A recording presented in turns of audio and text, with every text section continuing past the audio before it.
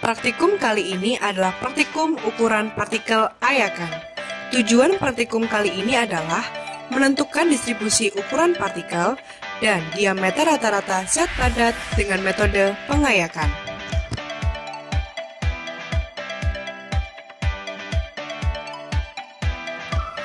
Sebelum melaksanakan praktikum, terlebih dahulu memasang alat pelindung diri.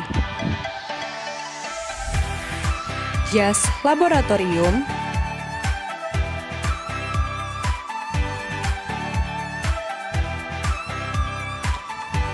masker,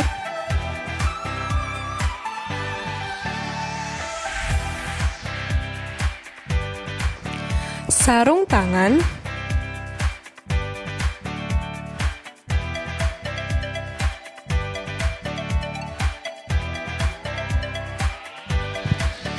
dan menggunakan tanda pengenal. Alat dan bahan yang diperlukan adalah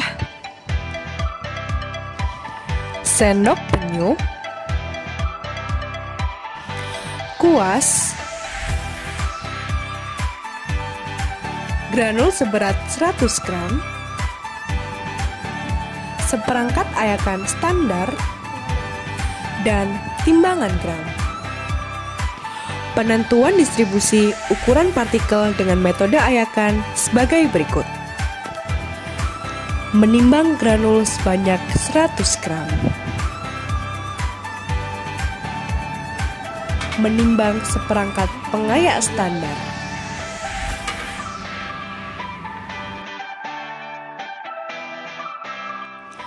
Menyusun pengayak tersebut dengan diameter lubang terbesar diletakkan di paling atas dan pan penampung di paling bawah.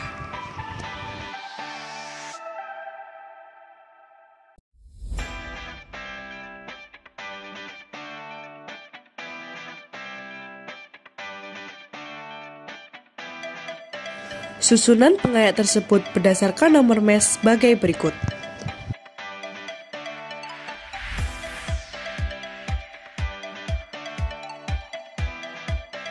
Nomor mes 25, nomor mes 35, nomor mes 40, nomor mes 50, nomor mes 80,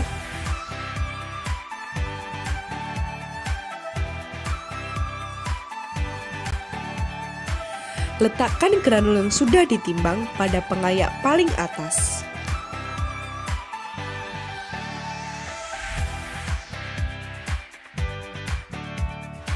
Lalu menutup pengayak,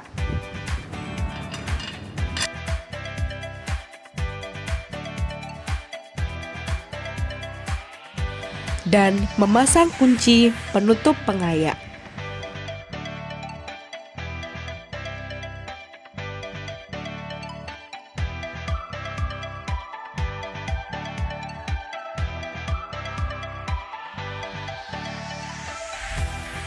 Menghubungkan ayakan ke sumber listrik.